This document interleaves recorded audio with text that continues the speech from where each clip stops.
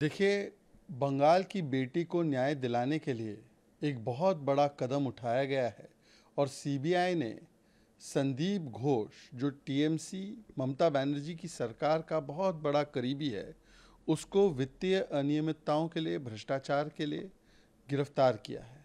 पर सवाल ये पूछा जाएगा कि ममता बनर्जी की सरकार की प्राथमिकता क्या थी? बेटी को न्याय दिलाओ नहीं, संदीप घोष को बचाओ, सत्य की आवाज़ को दबाओ सबूत मिटाओ और बलात्कारियों को बचाओ।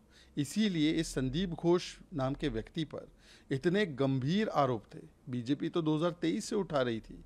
वित्तीय अनियमितताएँ, भ्रष्टाचार ऑर्गन हार्वेस्टिंग बायोमेडिकल वेस्ट में घोटाला, किस प्रकार से ड्रग्स में घोटाला, परंतु उस पर कोई आँच नहीं आ पाई क्योंकि ममता बनर्जी की सरकार का संरक्षण प्राप्त था।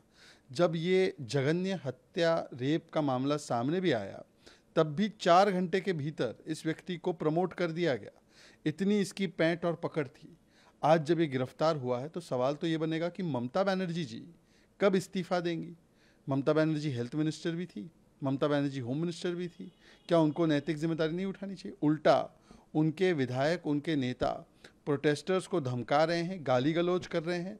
ममता बनर्जी जो है वो देश में दंगा लगाने की बात कर रही है और इंडिया अलायंस के सारे नेता जो है, जो लड़की हूँ की बड़ी बड़ी बातें करते हैं या जो संविधान बचाओ की बातें करते हैं, चाहे कोलकाता हो, चाहे केरला हो, चाहे कन्नौज हो, बेटियों के पक्ष में ये सभी लोग चुप हो चुके हैं। प्रियंका वाड्रा जी भी, राहुल गांधी जी भी, अखिलेश यादव जी भी।